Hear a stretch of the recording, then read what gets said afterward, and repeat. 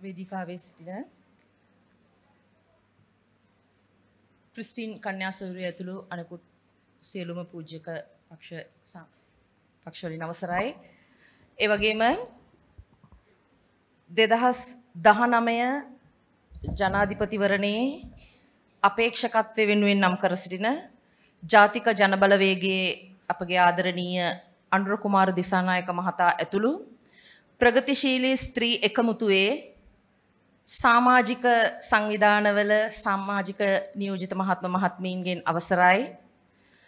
ඈත ප්‍රදේශවල ගම්නියම් ගම්වල ඉඳලා ඒ ඒ සංවිධානය නියෝජනය කරමින් අපිට අසීමිත ශක්තියක් වෙන්න මෙතනට ආපු දයාබර සහෝදරයන්ගෙන් මහාධ්‍යවේදී මහත්ම මහත්මීන්ගෙන් සම්භාවනීය ආරාධිත අමුත්තන්ගෙන් සියලු දෙනාගෙන්ම අවසරයි.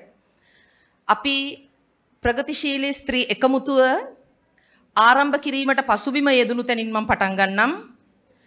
අපි විවිධ සංවිධාන විශේෂයෙන්ම කාන්තාවන් හැටියට අපි අයිතින් උදෙසා කාන්තාවෝ අපි දන්නවා ලෝකේම කාන්තාවන් සඳහා විවිධ අයිතිවාසිකම් සඳහා උරුම අ, උරුමකම් වෙනුවෙනුත් අයිතිවාසිකම් සුරක්ෂිත කිරීම වෙනුවෙන් දරුවන් වෙනුවෙන් සංවිධාන රාශියක් ක්‍රියාත්මක වෙන අතරේ අපේ රටෙත් ඒ ඒ ශේත්‍ර නියෝජනය කරමින් හුදෙකලා සටන් හැටියට ඒ ඒ වකවානු තුල අපි කාන්තා සංගම් හැටියට ක්‍රියාත්මක වෙලා තිබෙනවා.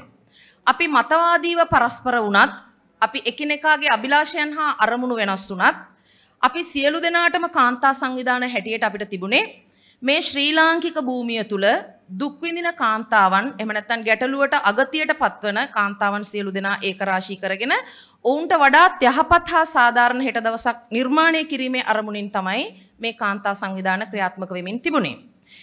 එහෙම ක්‍රියාත්මක වන වකවානුව තුළ ලංකාවේ සමාජාර්ථික දේශපාලන වටපිටාවේදී ඒ ඒ සංවිධානත් අපිත් ඒ ඒ මොහොතවල් වල මේ රටේ පවතින ඒ උද්ගත වෙන ගැටලු වලට සාපේක්ෂව අපි දේශපාලන පසුබිම් තෝරාගත්තා ඒ ඒ දේශපාලන පසුබිම් වල ක්‍රියාත්මක වුණා.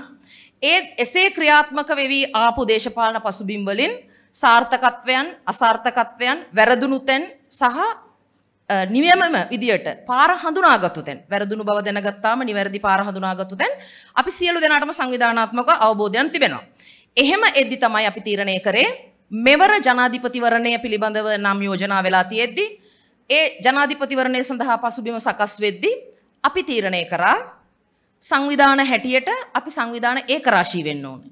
මේ රටේ කාන්තාවන්ගේ බලය ඒ ඒ තැන්වලදී හුදකලාව දියවෙවි යද්දී ඒ තුලින් මතුවෙන්නේ වැරදි අදහසක් හා වැරදි චිත්‍රණයක්.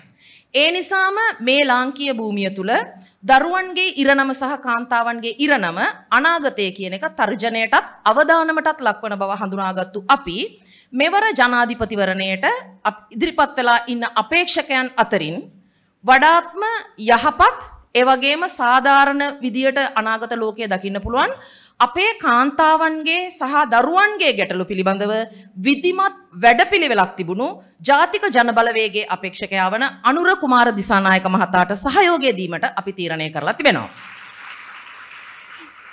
එහෙම තීරණය කරලා අපිට ඒ සඳහා අපි කල්පනා කරේ එකේ ජාතික ජනබලවේගය ගැන කියද්දිත් අපිට අපි දීර්ඝකාලීන නිෂ්- අ, නිරීක්ෂණයක ප්‍රතිඵලයක් හැටියට ගත්තම ඔබ සියලු දෙනාම කල්පනා කරලා බලන්න අනෙකුත් ජනාධිපති අපේක්ෂකවරු තේරීපත් වන මොහොත වනකොට ඒ ඒ පක්ෂ සහ සංවිධානවලට තිබුණේ අපේක්ෂකයා ලෙස කවුද නම් කරන්න කියන පොරය විතරයි. අපේක්ෂකයා කවුරු වෙනවාද කවුරු අපේක්ෂකත්වය දරලා මේ රටේ ජනාධිපතිවරණවරයා වෙනවාද කියන සටන තමයි ඔවුන්ගේ අභ්‍යන්තරිකව තිබුණේ. හැබැයි අපි ජාතික ජනබලවේගයේ දීර්ඝකාලීනව නිරීක්ෂණය කරද්දී විවිධ සංවිධාන හා ශාඛාවන් ඒක රාශී කරගෙන විවිධ සංවිධාන හා සිවිල් ක්‍රියාකාරීන් ඒක රාශී කරගෙන ඔවුන් පළමු කොටම ජාතික බල- ජනබලවේගය කියන සංවිධානය හැදුවා. ඉන් අනතුරුව ජාතික ජනබලවේගයේ ඉන්න විද්වතුන් හා විද්‍යාර්ථීන් ඒක රාශී කරගෙන ඔවුන් මේ රටට දසවැදෑරුම් වැඩපිළිවෙලක් ඉදිරිපත් කරලා ප්‍රඥප්තින් ප්‍රකාශයට පත් කරා. ඒ අනුව ඔවුන්ගේ වැඩපිළිවෙල ආර්ථිකය සෞඛ්‍ය දේශ අ, සෞඛ්‍ය අ, ප්‍රවාහනය අධ්‍යාපනය සහ පරිසරය ඒ ආදී වශයෙන්ම කාන්තාවන් සඳහාත් රටේ අනාගතය සඳහා වැඩපිළිවෙලක් සකස් කරලා මෙන්න මේ දසවැදෑරුම් වැඩපිළිවෙල ඔස්සේ තමයි අපි මේ රට ඉදිරියට ගමන් කරන්න කියන එක තීරණය කරාට පස්සේ තමයි ඒ සංවිධාන සියල්ලේම සාමූහිකත්වයෙන් සහ ඒකමතිකව අන්ඩ්‍ර කුමාර දිසානායක සහෝදරයා ඒ ජාතික ජනබලවේගේ නායකයා ලෙස සියලු දෙනාගේම විශ්වාසය දිනාගෙන අපේක්ෂකත්වයට තෝරාපත් කරගනු ලැබුවේ. ඒකෙන් ඒකෙදී අපි පැහැදිලිව තේරුම් ගත යුතුයි අනෙක් සියලුම පක්ෂවල අපි වටහා ගත්තේ තමයි අනෙකුත් සියලුම පක්ෂවල බලය සඳහා සටනක් පවතින මොහොතක මේ රට සඳහා වැඩපිළිවෙලක් ඉදිරිපත් කරපු එකම ජනක එකම අපේක්ෂක කණ්ඩායම ඒ අපේක්ෂකයා ඒ වගේම එකම බලවේගය උනේ ජාතික ජන බලවේගය විතරයි.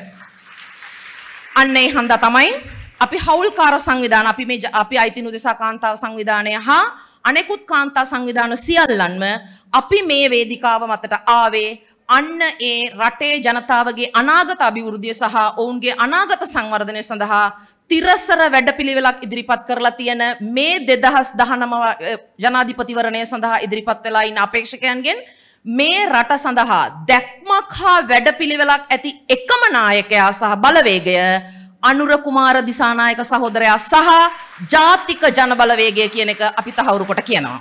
ඒක නිසා ආදරණීය සහෝදරියනි සහෝදරවරුනි දුවදරුවනි මේ වේදිකාවේ ඉන්නේ ආදරණීය මව්වරුනි ඔබේ ආදරණීය පුත්‍රයා. දයාබර සහෝදරියනි අදහස් දැක්වීමේදී ඒ අදහස් උදහස් වලට සමාජ පිළිගැනීම හා ඒ අවස්ථාවන් උද්ගත කර ගැනීමේ වාතාවරණය ශ්‍රී ලංකා භූමිය තුළ ස්ථාපිත කරන්නට ඕනේ.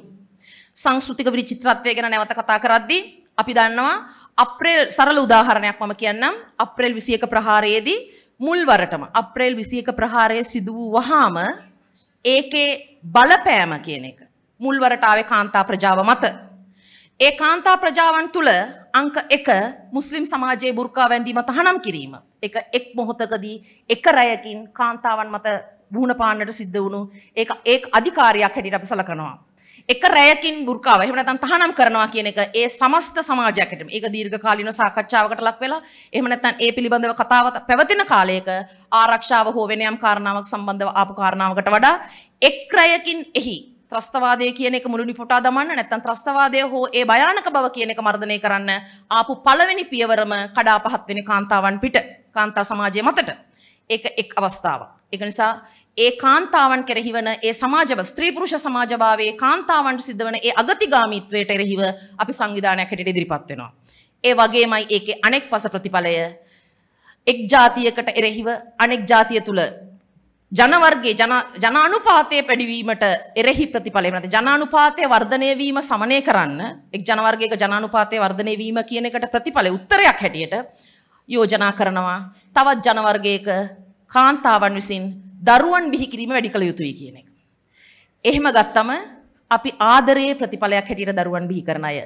කාන්තාවන්ට දරුවන් බිහි කිරීම කියන එක දාන්තාවක් දරුවෙක් බිහි කරන්නේ ආදරයේ ප්‍රතිඵලය ලෙස. ස්ත්‍රී පුරුෂ ආදරයේ අග්‍රඵලය ලෙස මිස සමාජයේ අධිකාරීත්වය පවත්වා ගැනීම සඳහා දරුවන් බිහි කරන යාන්ත්‍රණයක් නෙවෙයි කාන්තාව කියන එක අපි සමාජයක් හැටියට විශ්වාස කරනවා. ඒක නිසා අපි කාන්තා සංවිධානයක් හැටියටත් යුක්තිගරුක හා සදාචාර සම්පන්න සමාජ ප්‍රජාවක් ලෙස ඉහළට යාමට ඉදිරියට යාමට ආචාර ධාර්මික ශ්‍රී ලංකාවක් ගොඩනැන්විය යුතුයි. අන්නේ ආචාර ධාර්මික ශ්‍රී ලංකාව තුළ කාන්තාවන්ටත් පුරුෂයන්ටත් දරුවන්ටත් වැඩිහිටි මහලු සැමටත් සමානාත්මතාවෙන්ද සාධාරණත්වෙන්ද යුක්තිගරුක ලෙසද හිමිකම් භුක්ති විඳින්මින් ජීවත් වීමේ වටපිටාවක් ගොඩනංවා ගන්නට ඕනේ.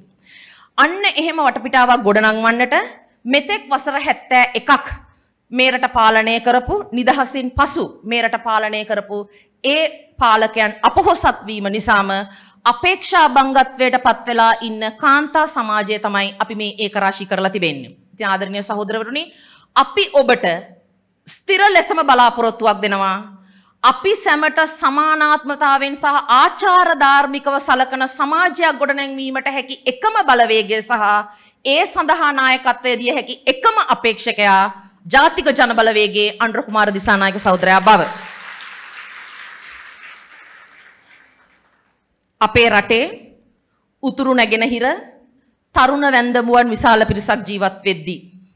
ඒ වගේම ඒ යුද්ධය සිවිල් ඒ යුද්ධයෙන් අවතැන් වෙලා සහ තමන්ගේ ස්වාමි පුරුෂයන් දරුවන් මිය ගිහිල්ලා දකුණ සහ අනෙකුත් සෑම පළාතකම මව්වරුන් සහ කාන්තාවන් තනි මාතෘත්වයක්ද තනි තනි ප- අ, සමාජයේ ගත්තම අ, පවුල් සංස්ථාවේ තනි වගකීම් අධිකාරියක් තියෙන පවුල් සංස්ථාවක් හැටියට රැකගෙන අ, ඒක පාර්ශය විදියට තමාගේ පවුල කියන එක නඩත්තු කරගෙන යන කාන්තාවන් විශාල ප්‍රමාණයක් ඉන්න රටක අපේ රටේ ජනාධිපතිවරයාගේ වියදම කෙනෙක් කල්පනා කරලා බලන්න.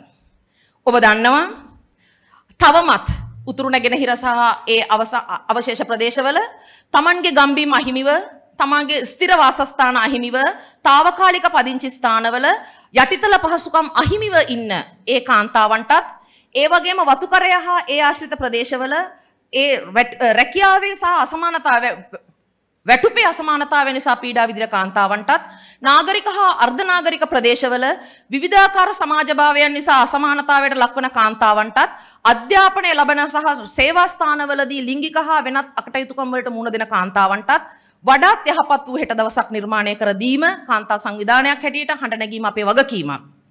ඒ ලබාගත හැකි සාධාරණ සහ යුක්ති සහ- යු- යුක්ති සහගත සමාජ රටපිටාව ගොඩවගන්නට අපි හැම දෙනාටම ඇප කැප වෙන්න මේ අවස්ථාවේ වගකීමක් තිබෙනවා.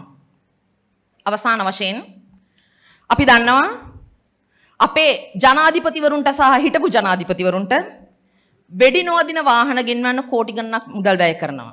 අපි දන්නවා අද රෑ නිදාගත්තොත් හෙට උදේට අවදි වෙයිද කියලාවත් හිතාගන්න බැරි ජනාධිපතිවරු. වයස අවුරුදු 70 ගණන පහුවෙච්ච අද රෑ නිදාගත්තොත් හෙට උදේට අවදි වෙයිද දන්නේ නැහැ. හැබැයි එහෙව් ජීවිත රකින්න වෙඩි නොවදින වාහන.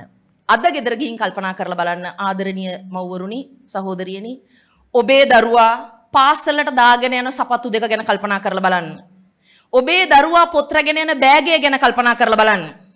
ඔබේ දරුවා ඇඳගෙන යන පාසල් නිල ඇඳුම ගැන කල්පනා කරලා බලන්න. ඔබේ දරුවා අත අරගෙන යන පොත්පත් ටික ගැන කල්පනා කරලා බලන්න. ඔබේ දරුවා ආහාරයට ගන්නා ආහාර වේල ගැන කල්පනා කරලා බලන්න. හැබැයි ඒ සියල්ල ඊටා පහළ අඩියක තිබියදීත් ඔබ ඉහළම බදු මුදල් ටික මේ රජයට දීලා තිබෙනවා. ඔබේ පවුලේ සතුට අහිමි කරගෙන මේ රජයේ සහ මේ රටේ ප්‍රභූ පවුල් කීපයක පාලක පවුල් කිහිපයක සතුට වෙනුවෙන් ඔබ කැප වෙලා තිබෙනවා. ඔබ ගෙවන සෑම බදු මුදලකින්ම ඔවුන් සුරසැප විඳලා තිබෙනවා. අපි ඒ ක්‍රමය වෙනස් කරන්න තමයි ජාතික ජනබලවේගයේ අපේක්ෂකයා අනුර කුමාර දිසානායක සහෝදරයා ජයග්‍රහණය කරන්න ඕන කියලා කියන්නේ. ඒක නිසා අහිමි වෙච්ච සතුට නැවත ලබා ගන්න. අපේ දරුවන්ගේ හෙට දවස සාධාරණ හා යුක්ති සහගත බවය ගොඩනගන්න. මව්වරු හැටියට විශේෂයෙන්ම අපි දරුවාගේ අපේ දෑසවන් දරුවාගේ අනාගත ගො- ලෝකය අපි විඳිදුක් නොවිඳින්නට ඒ උදාරනායකයාට ඒ අසහාය නායකයාට ඔබේ ආදරණීය සහෝදරයාට ඔබේ ආදරණීය පුතණුවන්ට ඒ වගේම ඔබේ දුවා දරුවන්ගේ පරමාදර්ශී පියාණන්ට ඒ ඔබේ වගකීම ඉටු කිරීම සඳහා ජන බලය ලබා දෙන්න කියලා නැවත වතාවක් මම ආරාධනය කරනවා එළඹෙන නොවැම්බර් 16 වෙනිදා ජනාධිපතිවරණයේදී මාලිමාව ලකුණෙන් තරඟ කරන අනුර කුමාර දිසානායක සහෝදරයාගේ ජයග්‍රහණය තාවුණු කරමින් ජාතික ජනබලවේගයේ ජයග්‍රහණය කරන්න අප කැප වෙන්න කියන ඉල්ලීම කරමින් මම සමුගන්නවා. ඔබ සියලු දෙනාටම ජයග්‍රාහී අනාගතයක්. ස්තුතියි.